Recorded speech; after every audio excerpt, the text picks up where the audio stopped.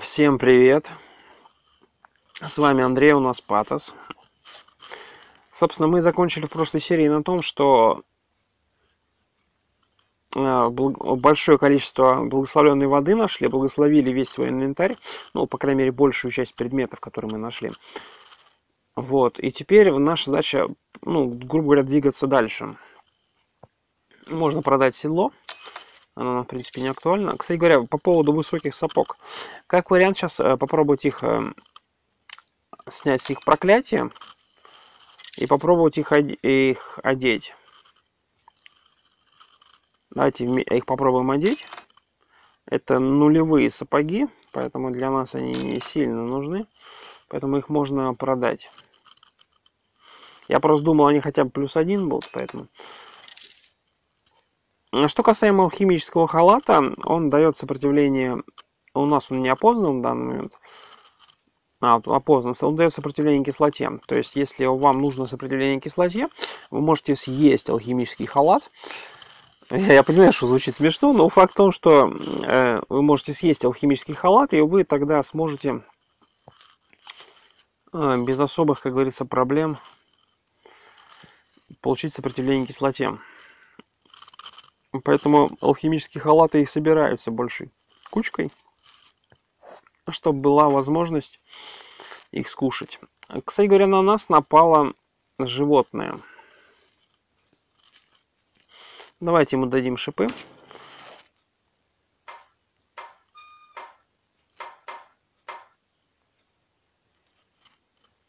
А для чего мы им выдаем шипы? Для того, чтобы они от нас, ну, убежать они вряд ли от нас смогут. Но, кстати говоря, это как вариант еще, одна, еще одно преимущество. Почему? Потому что благодаря шипам они от нас не смогут убежать. Обратите внимание, к нам идет куралиск.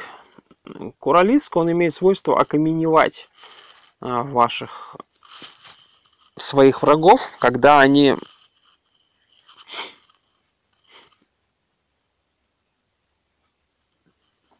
а, при поедании куралиска вы затрачиваете статус, то есть вы, вы моментально умрете. Вы моментально умрете, если вы попытаетесь...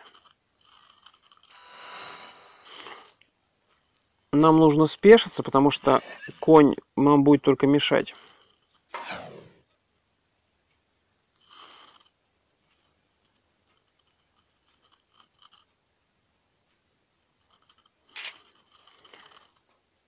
А, кстати говоря, огненный куралиск.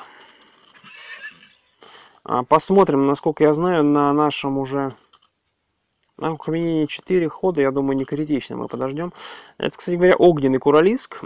А, принцип похожий, только он бьет огнем.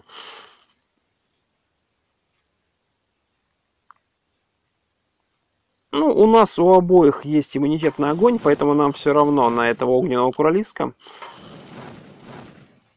Он вообще называется по-другому, давайте посмотрим. Он называется пиролиск. И он постоянно бьет огнем. А если у вас есть иммунитет к огню, вам, в принципе, не критично. Мы получили 11 уровень. У нас теперь, ну, собственно, ничего особо для нас не изменилось.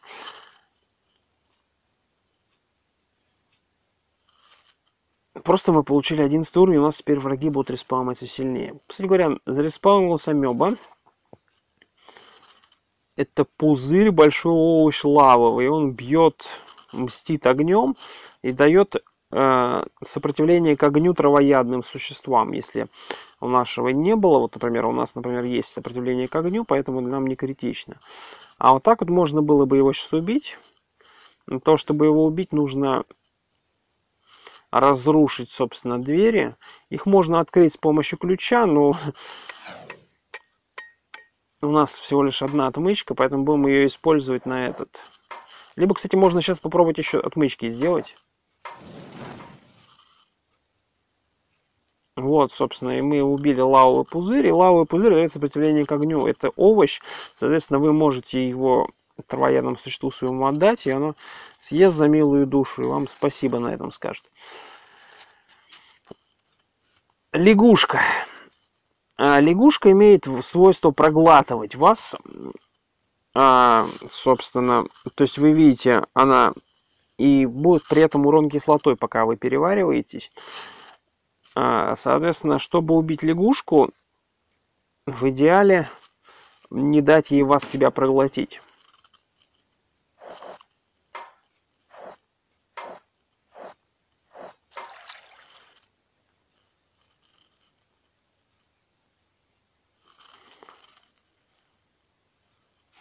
Почему? Потому что нам, конечно же, все равно, но вот нашему питомцу будет не все равно. Мы убили гигантскую лягушку. При поедании гигантская лягушка дает вам ну, просто обычную сытость, ничем не примечательная. Ципалиск. Ципалиск это тот же, тоже окаменение, только это негрейженная версия этого куралиска. То есть сначала идет ципалиск, а потом идет куралиск. Мы уже с таким встречались. А, его, по идее, нужно кидать ему замедление, чтобы вы как можно меньше ходили. Но по понятным причинам он кинул на нашего, наше животное окаменение. Мы снимаем окаменение с помощью рога единорога. И наш опять конь получил окаменение. Ну, у нашего коня нет окаменения, поэтому защиты. Поэтому он постоянно его получает. Куралийские, они вообще редкие враги. Э, поэтому ципалийские, куралийские и тому подобные существа. Вот, собственно, вы можете... А, дает эффект окаменения и получаете сопротивление к яду. Но, опять же, эффект окаменения от 10 до 100 это очень много. Окаменение, оно э, вашу скорость снижает. Собственно, гигантская лягушка ничем не примечательная.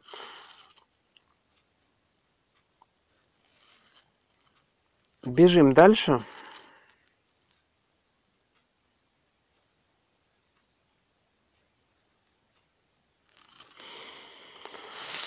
Собственно, подземные казармы. Ну, нам нужно дальше, нам нужно за глубинные, получается, руины забежать. Я хотел бы сейчас сегодня хотя бы, ну, в текущем выпуске хотя бы одним глазком посмотреть глубинные залы. Ну, я, в принципе, плюс-минус представляю, что они себя представляют, но э, чтобы вам показать и вы вообще имели представление, что это.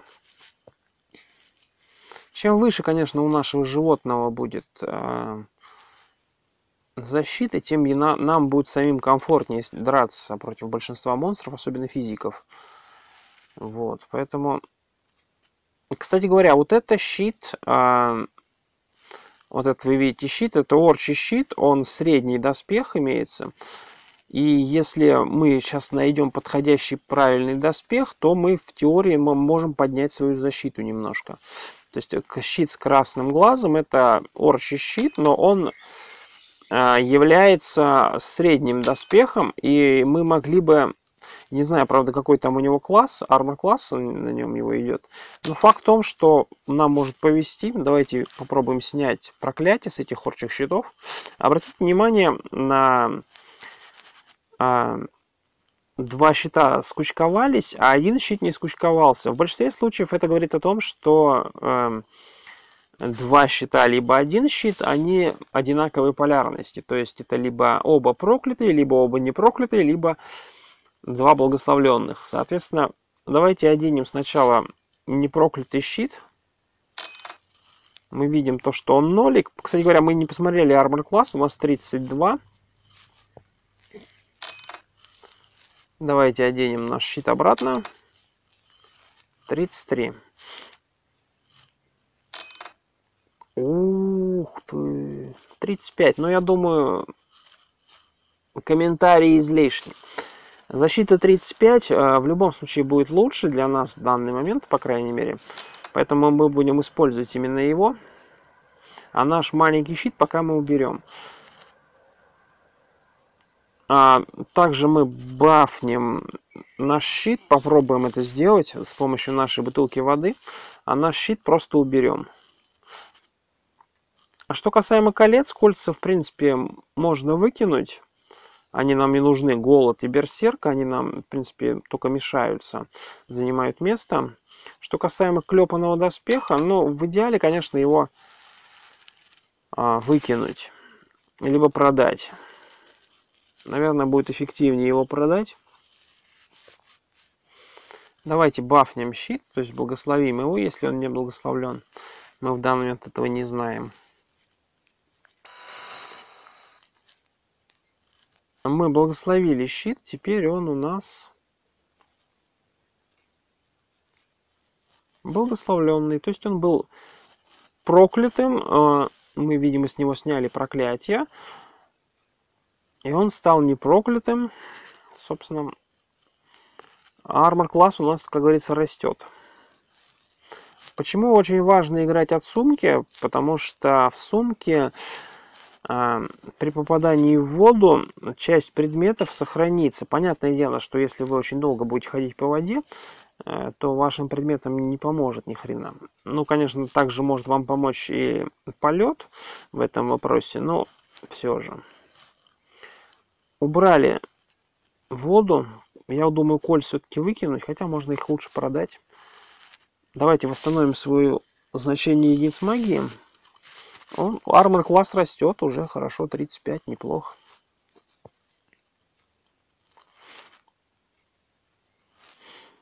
Правда, наша лошадь в этом вопросе пока хромает. У нее всего лишь 23, то есть это прям откровенно мало. Но мы, как говорится, надеемся, что рано или поздно у лошади тоже армор класс поднимется.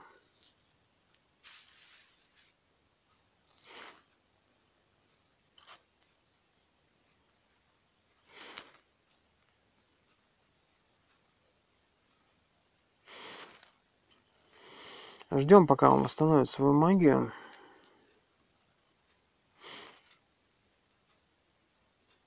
Собственно, он восстановил ее. Бежим дальше. Наша задача добежать до глубинных руин. Потом э, хотя бы одним глазком посмотреть на глубинные залы. Ну, в принципе, я плюс-минус представляю, что там нас ждет. Но вы, наверное, там не были, поэтому вы, наверное, не представляете, что там вас ждет, поэтому вместе с вами мы посмотрим. Не буду вас, как говорится, раньше времени обрадовать.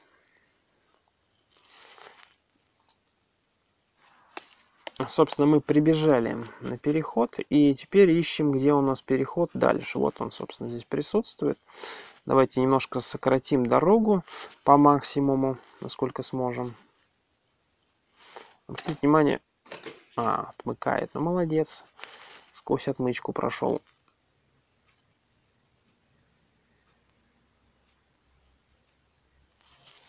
Собственно, открываем, подходим вплотную к этим. Сейчас будем копать.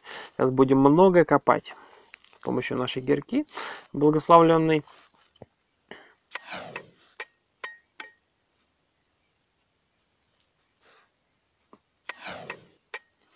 Почему очень важно именно прокопать? Потому что вы и ваш персонаж просто обходить не будут. Если, конечно, у вас есть фазирование, но, опять же, мы ездим верхом на лошади, нам нужно и лошади дать фазирование. Точнее, именно ей нужно дать фазирование для того, чтобы мы э, вместе с вами, грубо говоря, могли летать.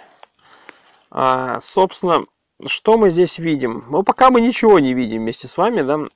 Кастуем обнаружение монстров и видим то, что вокруг нас огромное количество монстров.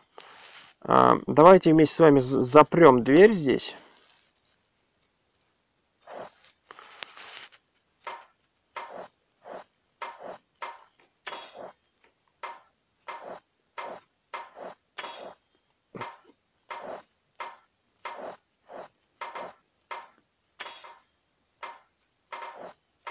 Мобов очень много здесь, а, поэтому тут нужно будет быть, более внимательным, чтобы никто из наших не просел по здоровью. А лучшая точка, если вы успеете, закрыть обе двери и ловить снизу всех, всех мобов, которые к вам идут. Именно снизу. Потому что тут э, этих дворфов, воинов, которые здесь присутствуют у нас, их просто огромное количество. А что касаемо круглого щита, это тяжелые доспехи, он нам не нужен.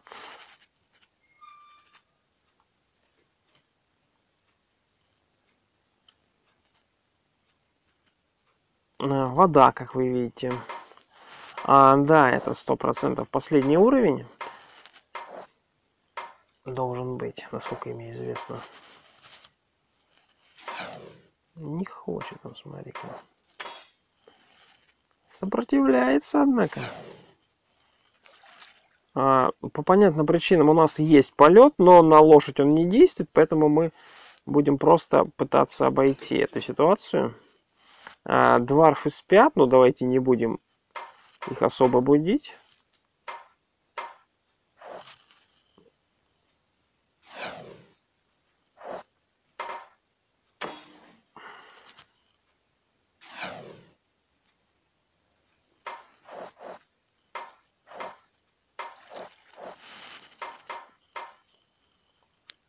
Ну, как вы видите, наша лошадь только страдает, потому что мы не можем ей дать армор класс. Если мы бы могли дать лошади нашей армор класс побольше, то наша лошадь бы не страдала от этих дворфов.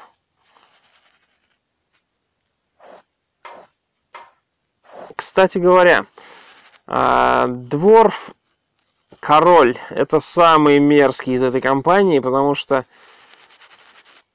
у него очень много урона, и в большинстве случаев мы его не сможем победить, если не снимем с себя доспехи. Поэтому я предлагаю, скажем так, на опережение сделать ситуацию и просто спешиться.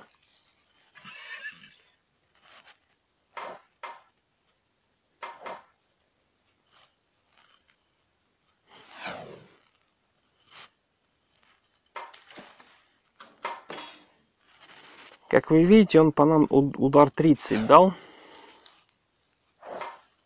А теперь 40. Урон очень большой.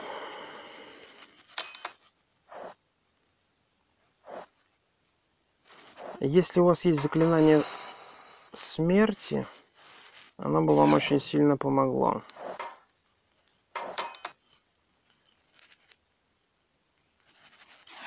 Дворский король это самый, нам тут будет сильный противник. Он выпил, кстати говоря, зелье лечения, причем полного лечения.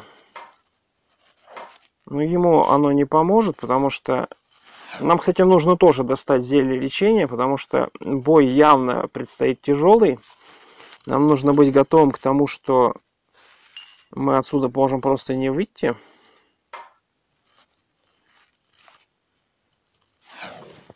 У нас закончится рано или поздно магия. Почему я не подставляю лошадь? Казалось бы, она быстрее, но у нас армор класс плюс а, у нас у, больше армор класс, чем у лошади.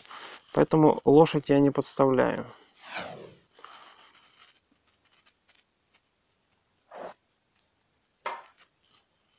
Да, он прям капец как больно бьет. Выпьем зелье большого лечения. Еще одно зелье.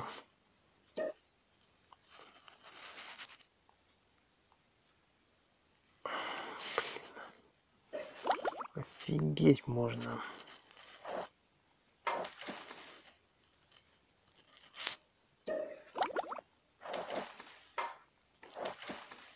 Все, мы забили короля дворфов. Да, это прямо было так жестковато, жестковато. На самом деле король дворф очень тяжелый боец. Я бы даже сказал, он один из тех, с кем лучше лишний раз не встречаться.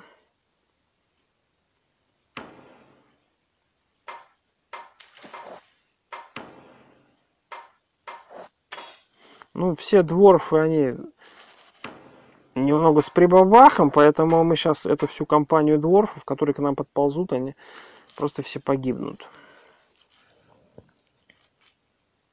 Восстанавливаем свою магию, потому что нам нас явно просадили по здоровью. Благодаря нашим, конечно, хилкам мы выжили. Но это было, честно говоря, прям на грани. Хотя у нас еще палочка большого лечения была. Могли ее использовать. Но в любом случае у нас а, теперь, потому что мы пили благословленные зелья, у нас теперь 100, 100 здоровья, 104. А, посмотрим по а, сытости у нас 800. Подождем.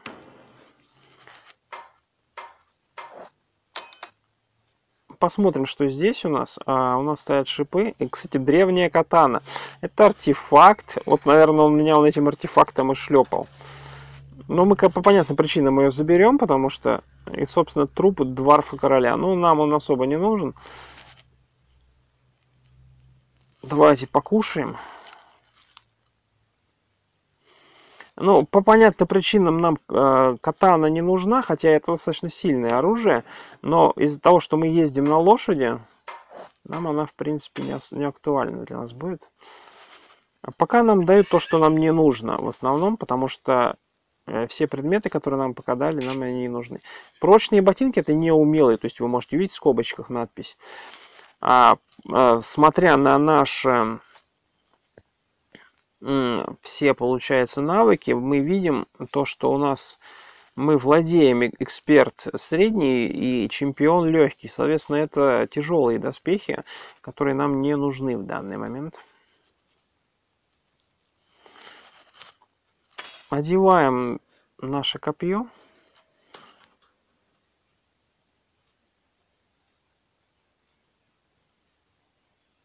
В идеале за текущий выпуск посмотреть полностью текущую локацию. Собственно, спящие ребята. Давайте их разбудим.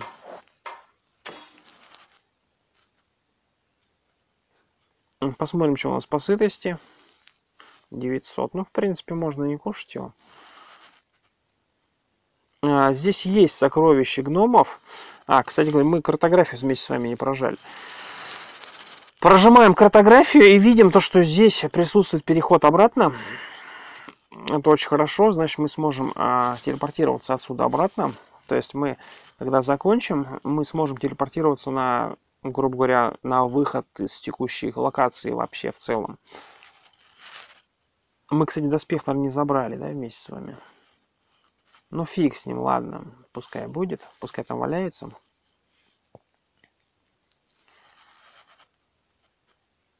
А, восстанавливаем наши единицы магии, потому что непонятно, кто нас ждет за спиной. Но мы, по сути, самого сильного врага забили уже.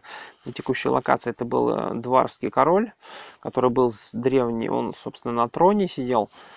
На троне можно сидеть, если вам необходимо, но проблема трона в том, что он периодически преобразовывается в люк. А, поэтому кстати, вы, наверное, не в курсе, а здесь на в центральной этой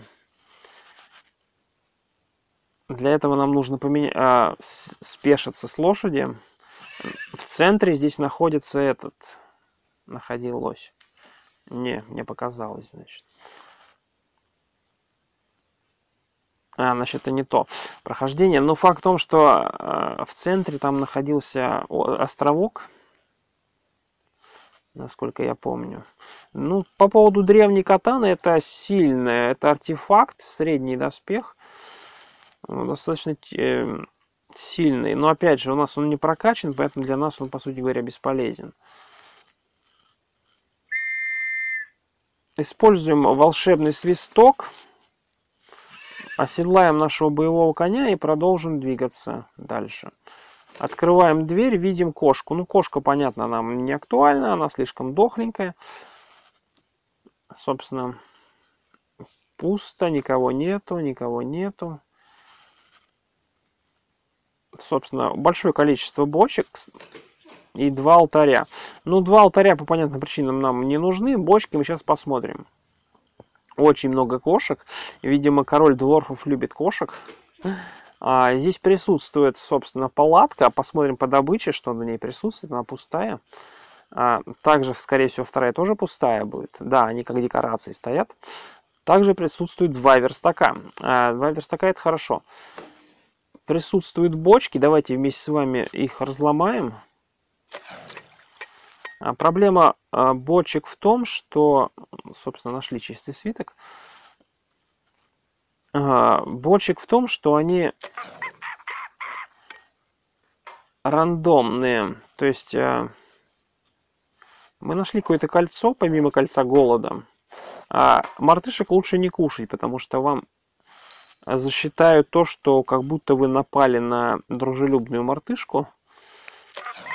по крайней мере, в присутствии. Еще какое-то зелье, обратите внимание. Все бочки стоит разломать. А, зелье сна. Но зелье сна стоит смывать, потому что его как атакующие использовать нет смысла. Почему? Потому что ваши враги проснутся в любом случае, когда вы начнете их атаковать. Собственно, на нас кинули слепоту, ну фиг бы с ней. Давайте еще рядом соседнюю бочку цепанем. Нам дали смятение, давайте э, используем наш рог единорога, махнем на себя и увидим то, что у нас здесь присутствует зелье галлюцинации. Но по понятным причинам зелье галлюцинации тоже сомнительное зелье. Оно тоже идет на смыв.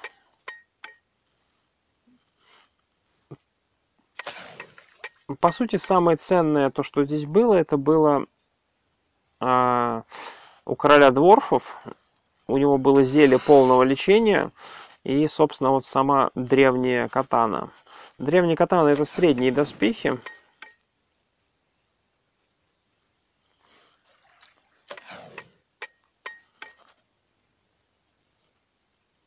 Вообще в идеале все бочки открыть, но проблема в том, что очень долго. Книга восстановления изучаем, мы повышаем эффективность заклинания восстановления, то есть оно тратит а, кольцо сопротивления шоку. Кстати говоря, это хорошее кольцо, его бы в идеале отдать нашему этому нашей лошади, если мы сможем ее превратить во что-то, ну, мы ее сто процентов сможем. Вопрос в том, сможем ли подконтрольно превратить или так.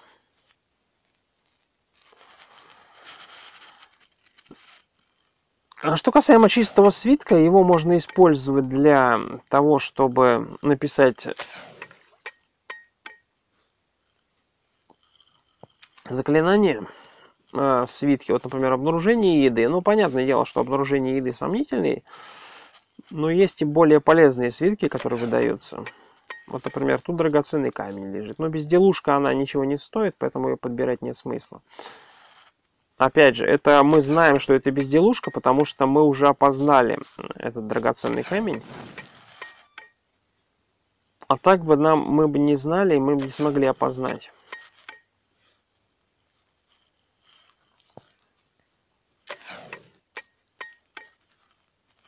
Я предлагаю вернуться на предыдущий уровень и пока поговорятся в бочках. Собственно, видим еще одно кольцо, витое кольцо, непонятно, что из себя представляет. Вместе с вами будем его одевать. Но сначала снимем с них проклятие.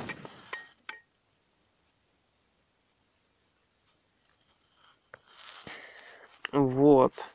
Смотрим, что вот это у нас такое. Это у нас водная локация. Большое количество воды.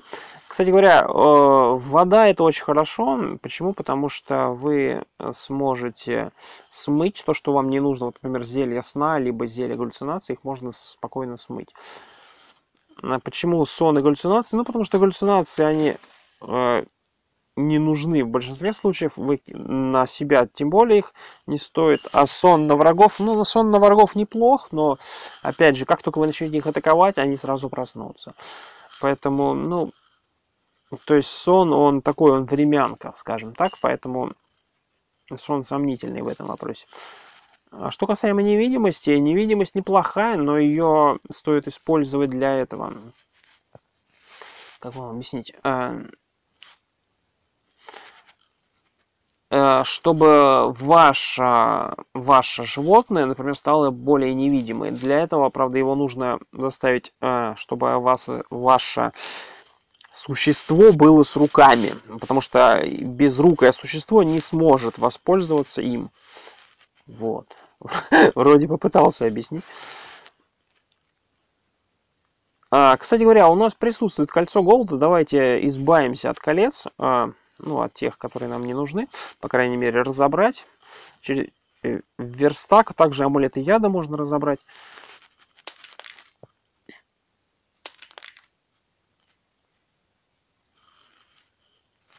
А, разбираем. Кольцо берсерка обязательно стоит разбирать. Потому что э, талант берсерк это ужасный талант. Я не рекомендую его вообще пользоваться им.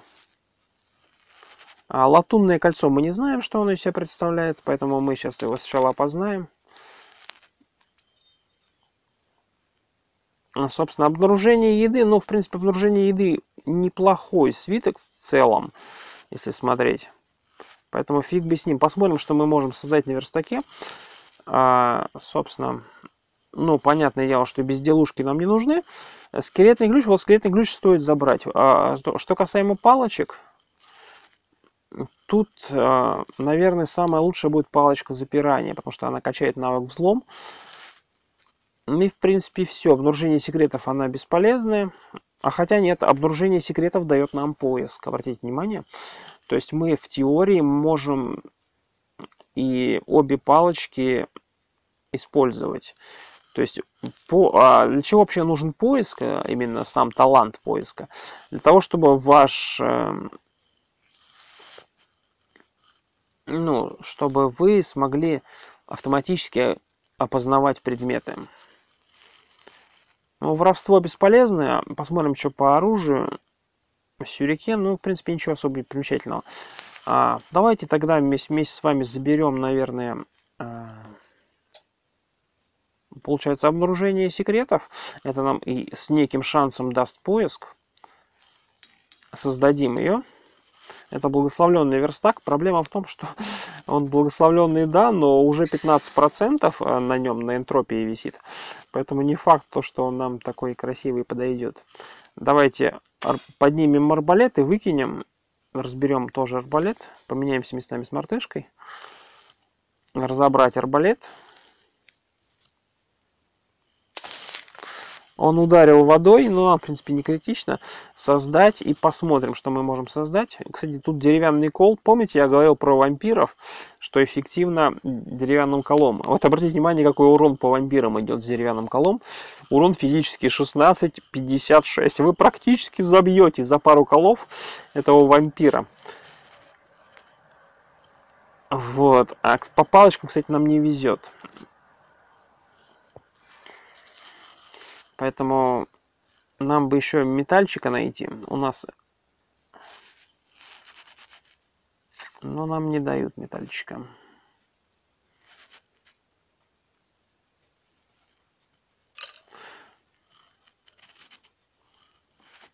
На самом деле эта э, комната шикарная. Единственная проблема в том, что разобрать безделушку Безделушку. Ты где безделушка? А кольца сейчас нужно определить.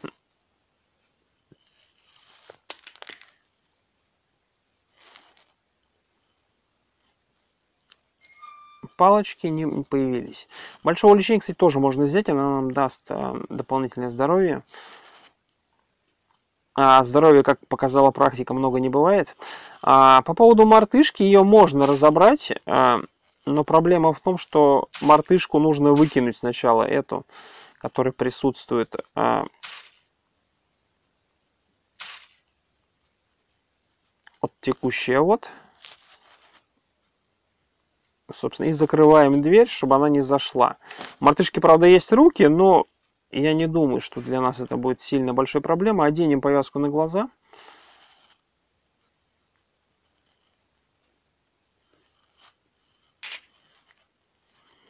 И разберем. А, кстати, еще надо спешиться обязательно. А нашей лошади надо съесть грибочек.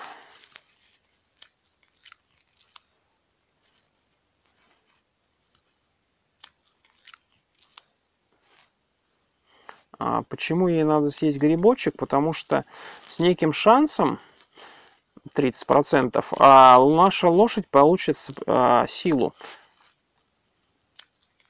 Она, конечно, может и остальные дебафы получить, которые дают.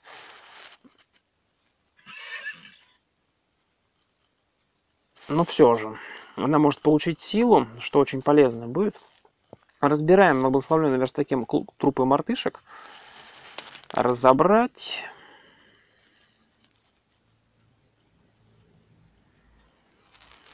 А почему именно я хочу разобрать мартышек? А, вообще существа можно разбирать, особенно на начале, если... А, чем вообще полезен верстак в самом начале? Верстак полезен в самом начале тем, что вы не сдохнете с голоду. Если у вас есть верстак и даже самые маломальские мобы, то есть вы тупо можете на навыках выехать вашего персонажа. Нам все равно не дали. Нам дали большое количество еды, но не дали то, что я хотел. Ну и ладно.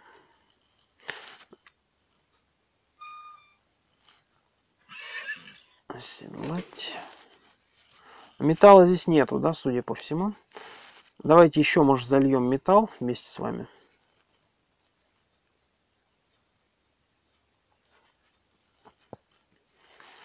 А, как вы видите, тут присутствует комнатка, но непонятно, почему она не открывается. Давайте вместе с вами попробуем ее открыть киркой. Это неудача. То есть мы не сможем прокопать. Попробуем с другой стороны прокопать. А, можно попробовать также через фазирование вместе с вами пройти. Сейчас мы попробуем через фазирование пройти.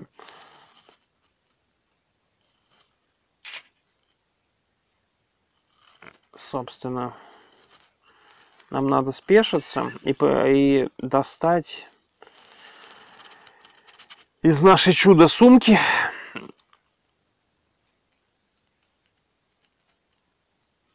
рукавицы фазирования. Они, их надо благословить еще на досуге будет заняться.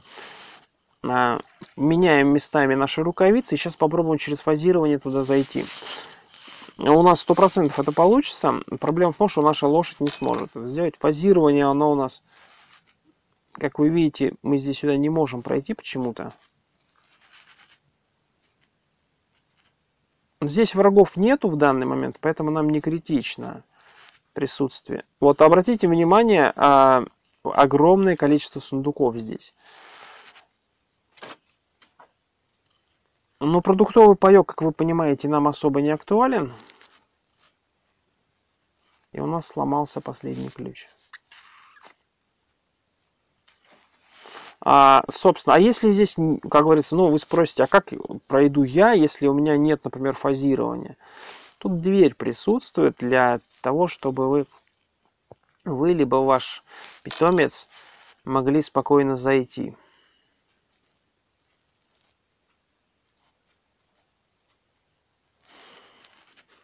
Просто когда...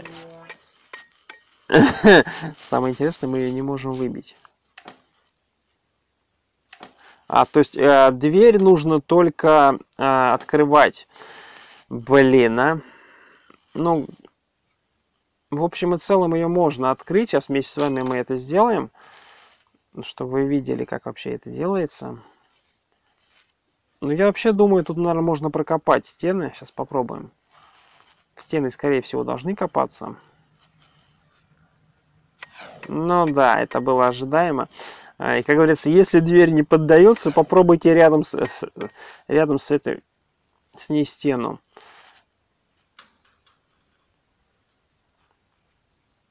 Ну, нам просто нечего а, запихивать, поэтому сложно сказать, как тут создать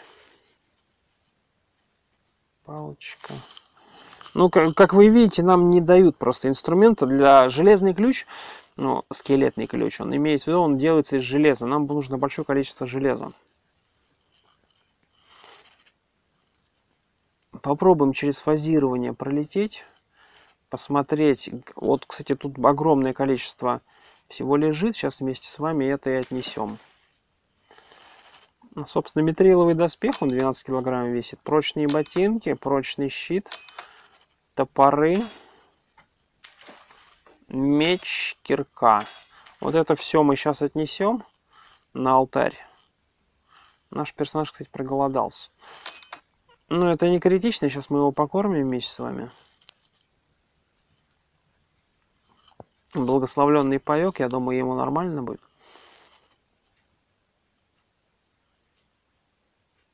А мы почему не наступаем на воду? Потому что мы летаем. И сейчас я хочу просто в данном деле ключи сделать, чтобы пооткрывать сундуки. Тут большое количество сундуков. Понятное дело, что нам не дадут возможность. Нам нужно одеть повязку на глаза обязательно. Потому что нам просто так могут не дать. По понятным причинам создать мы ничего не можем. Разбираем дворский тяжелый шлем.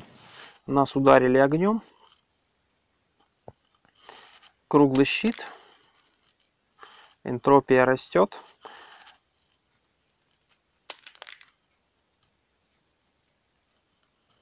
И митриловый доспех последний. Собственно, энтропия 23, в принципе, не критично. Давайте оденем, посмотрим. Нам нужно скелетные ключи в большом объеме. Чем больше у нас будет скелетных ключей, тем лучше. Мы можем создать также амулеты, но амулет изменения присутствует. Джавелин, Вакидзаси, собственно, катана, мифриловое оружие. Кстати говоря, самое, считается самое сильное мифриловое оружие. Ну, по крайней мере, пока. Насколько я знаю, есть еще и адамантовое, но а его мы брать в расчет не будем.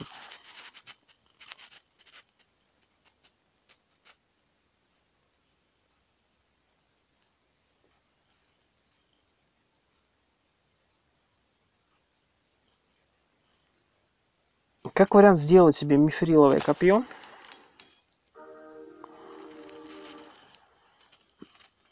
И сделать себе э, много скелетных ключей. У нас тут, тут два получилось. Давайте сделаем, сколько получается.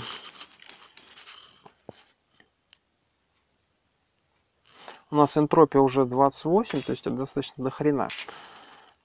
Давайте пробежимся, посмотрим полярность предметов. У нас, перегрузка. Не понимаю, почему, правда.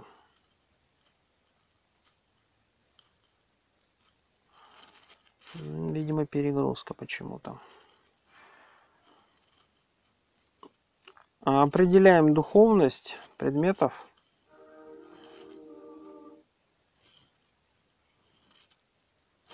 Очень долго, но куда деваться. Проще всего, конечно, определить духовность через вашего питомца травоядного. То есть вы отдаете ему а, свиток опознания и, и отдаете предметы, которые хотели бы опознать. Он, в свою очередь, ест, грубо говоря, этот свиток, и все предметы в его инвентаре, которые присутствуют в данный момент, они опознаются.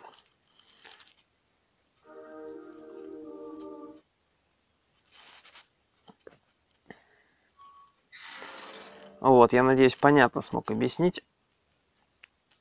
Обратите внимание, там два проклятых ключа. Точнее, не ключа, а эти кольца. У нас перегрузка из-за того, что мы большой объем с собой тащим.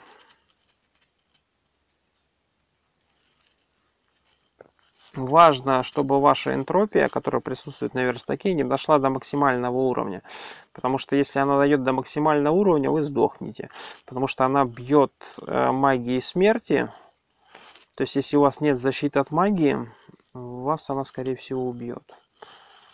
Поэтому будьте внимательны в этом вопросе.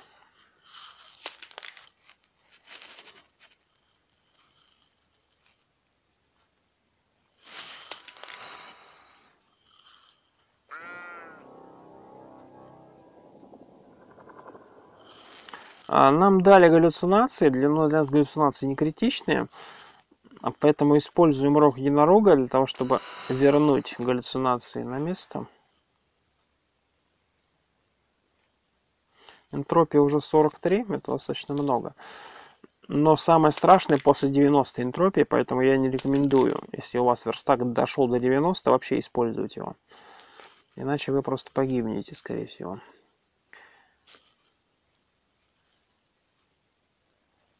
Прыгающие сапоги, большой тяжелый щит, дварский железный шлем, он у нас тяжелые доспехи, нам не актуальные.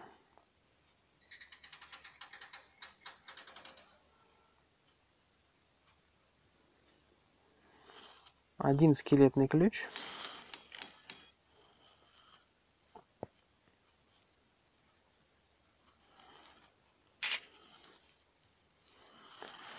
Подбираем скелетный ключ, попытаемся его на, на изготовку одеть.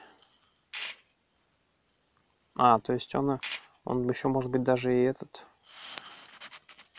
Ну, просто очень много закрытых сундуков, хотелось бы их все полутать, но для того, чтобы их полутать, ваше, вам нужно определить духовность. А, это благословленные, ну нифига себе. Ну давайте, давайте благословим, посмотрим. У нас присутствует талант фазирования, поэтому нам, в принципе, все равно. Мы можем сквозь текстуры летать. А, какаду есть не стоит. Ну, точнее, как сказать, стоит, но оно того не стоит. Его съесть можно, а фонарь и керамическая палочка забираем. Фонарь не стоит того.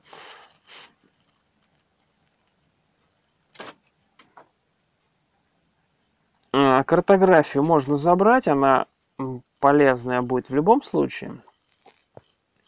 А, открывать уровни а, книга, ну это без слов, как говорится, магия всегда полезная. Особенно если вы высокоуровневый игрок, вам магия прям очень сильно полезная будет. Свиток огня можно забрать здесь. Его можно будет разобрать, и тогда вы сможете с помощью этого свитка сделать ну, другие свитки, которые вам нужны будут. А, вот. Наш персонаж что-то отказывается двигаться. Видимо, устал.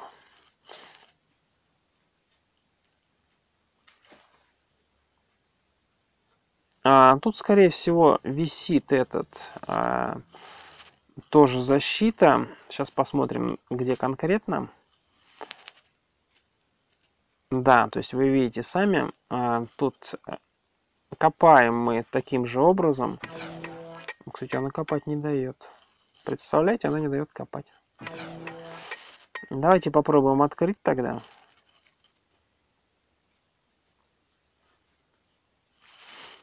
Почему-то мы и открыть не можем. Давайте снимем повязку с глаз.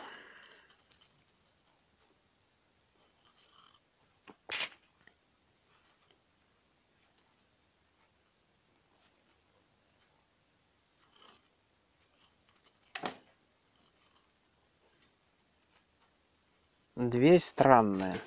Она взаимодействует по нажатию. То есть она сама по себе не открывается, она взаимодействует по нажатию. Что очень странно. Требуха нам не актуально. Видение невидимого телепатия пожирания нам все нужно. Отмычка нам также нужна. Требуха нам не нужна. Свиток пожирания, кстати, можно будет сейчас использовать. Безделушка нам не нужна, а познание нам пойдет. А, там еще желтый самоцвет был. Его стоит забрать, потому что мы не знаем, что это.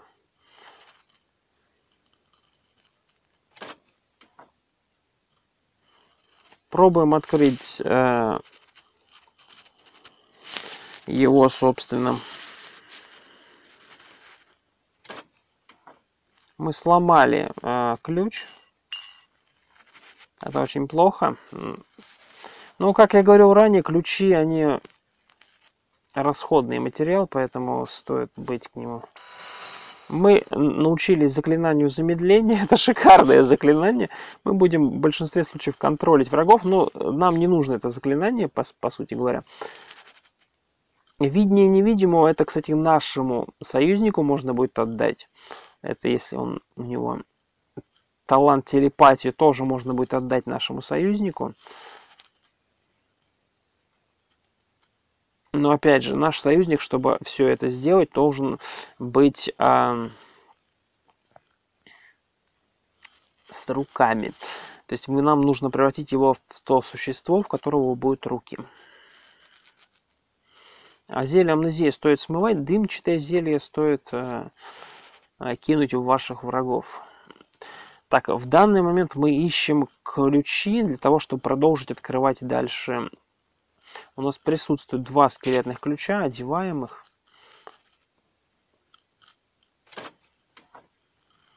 Собственно, сухой паек нам не актуален.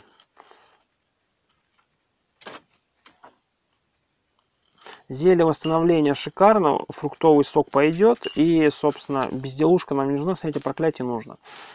А, болт нам тоже не нужно, мы не используем это. А, у нас присутствует вода, давайте а, смоем ненужные для нас зелья, такие как, например, зелье огня. Смоем.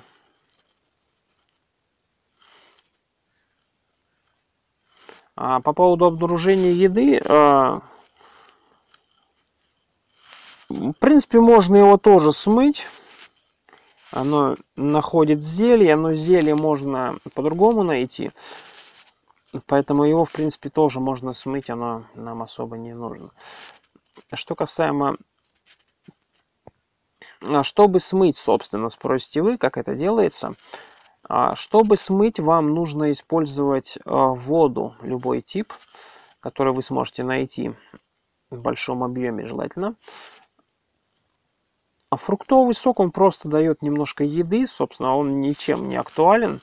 Ну, вот немножко 200 пунктов, прям откровенно до хрена, но все же. Но нам он не нужен. А восстановление это хорошее зелье видение невидимую скорость, она сомнительная. Зелье скорости, она дает временный эффект проворства, оно бесполезное. Зелье амнезия тоже бесполезное, потому что, ну, это амнезия. Этим все сказано. Поднимаем, собственно, все обратно.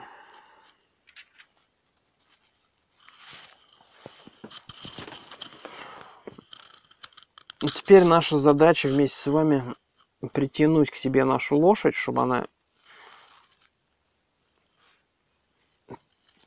А учитывая то, что фазирование нам больше пока не понадобится, меняем перчатки местами.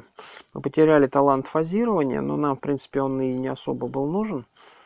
Убираем перчатки на место, чтобы они чтобы их, скажем так, не скоммуниздила какая-нибудь нимфа, потому что мы пока что не, не загеноцидили вообще никого. Поэтому в этом вопросе нам сложновато, скажем так. А кольца невидимости, кольца сопротивления шоку мы убираем тоже в сумку. А что касаемо картографии, картографию, как и снятие чар, можно тоже убрать в сумку. Что касаемо свитка пожирания, э, как варианты можно сейчас съесть, но единственная проблема в том, что он должен быть проклятый. А если он не проклятый, то для нас он будет бесполезен. Поэтому как-то так. По поводу чистых свитков, они для нас в данный момент тоже бесполезны, потому что у нас нет маркера, который мы могли бы написать что-то. Призываем к себе лошадь нашу. А учитывая то, что на текущем уровне больше нет врагов, соответственно, наша лошадь будет жить в любом случае. Опознаем предметы, которые мы не опознали по полярности. Зелье видения медиума тоже стоит убрать, как и зелье телепатии. Мы отдадим его нашему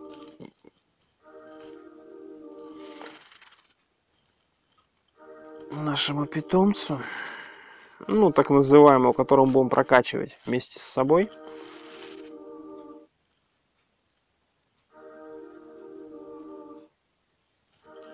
Собственно, мы определили полярность большинства предметов мы видим то, что свиток пожирания не проклятый, нам нужно, чтобы он был проклятый, поэтому мы его пока убираем. Потому что проклятый свиток пожирания съедает э, благословленные предметы, которые э, и несут э, большие характеристики, которые нам нужны. Поэтому нам нужно именно, чтобы она была проклятая. Что касаемо зельев, э, как вариант, можно невидимость убрать, пока восстановление это вообще самое лучшее зелье считается. Видение невидимого можно оставить. А у нас 4 непроклятые воды. Телепатию, кстати говоря, можно тоже пока убрать. А непроклятый воду с благословленной соединяем. А тут как ее, то есть как, собственно, сделать вообще благословленную зелье воды очень просто. Берете любое благословленное зелье, которое вам не нужно. Любого типа, неважно. При... А, свиток опознания проклятый, но нам не критично его проклятие. У нас присутствует керамическая палочка. Давайте вместе с вами ее используем. Единственное, нужно выйти а, куда-нибудь и направ направить ее от, от нас. Это палочка открытия. Палочка открытия дает нам а, заклинание взлом. Насколько мне известно, да, навык взлом это шикарная палочка. Она нам в любом случае подходит. Как и палочка секретов, они нам дадут возможность а,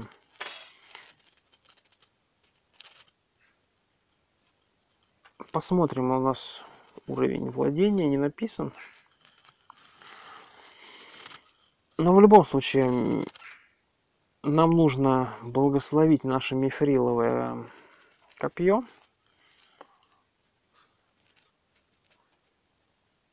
Осталось только найти его в списке.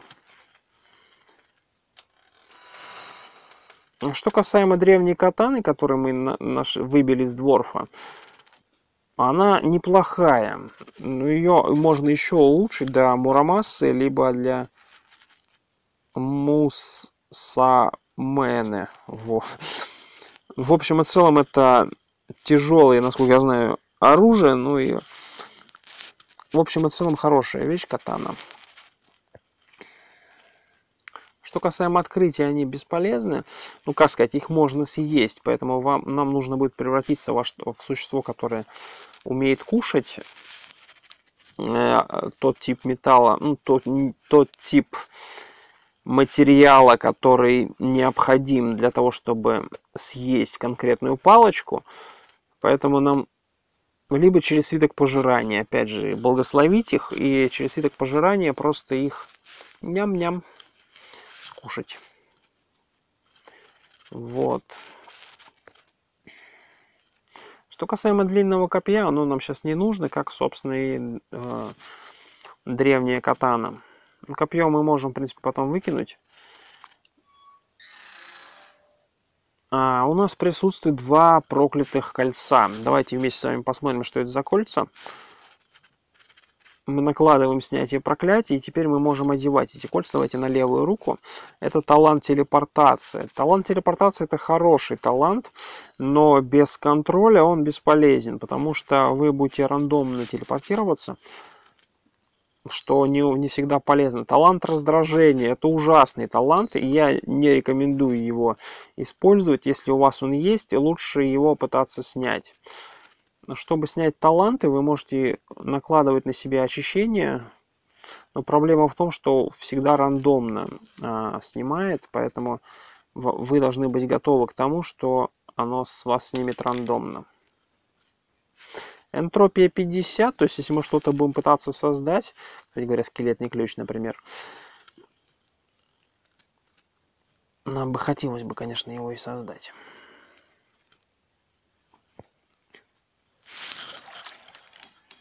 По нам ударили, если не ошибаюсь, водой. Сейчас посмотрим, что это за вспышка была. Кислотная. Кислотная вспышка. По нам ударили кислотой, получается. Посмотрим, состакаются ли ключи, что они за полярность имеют. Эффективнее всего использовать именно скелетные ключи, потому что все остальные типа либо артефактный ключ, это самый сильный ключ, он никогда не ломается. Но опять же, его нужно найти сначала. Артефактный ключ. Если я правильно понял, а, у нас, да, они состакались, видимо, да? Да, мы, получается, подняли эту, у нас ключи состакались. Их три непроклятых скелетных ключа. В идеале благословить ключи а, до состояния благословленности, потому что у них как бы, ну, по крайней мере, может быть такое, что у них прочность будет чуть-чуть подольше вам служить. Если вам нужен скелет, конечно, можно его и съесть, но он такой себе.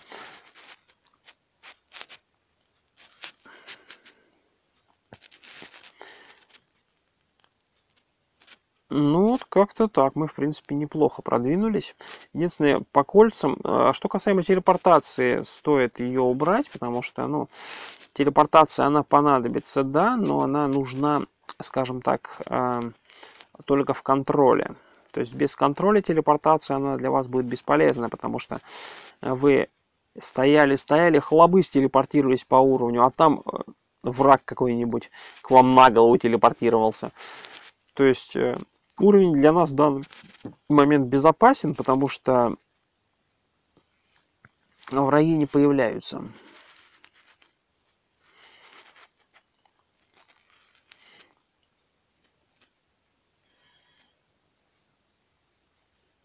Вот, поэтому как-то так. Я думаю, мы вместе с вами на этом закончим. Хотя мы можем, в принципе, наверное, выйти. Да, давайте, наверное, выйдем отсюда.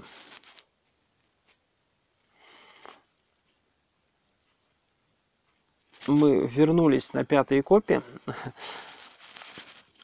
А с пятых копий можно выйти в основное подземелье.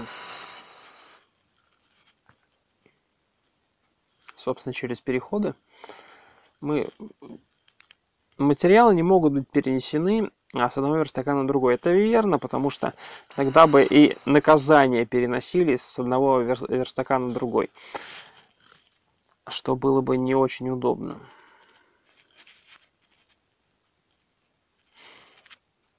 Я думаю, все-таки на этом вместе с вами закончим.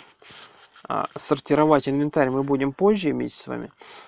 Поэтому всем спасибо за просмотр. А, с вами был Андрей. Всем пока.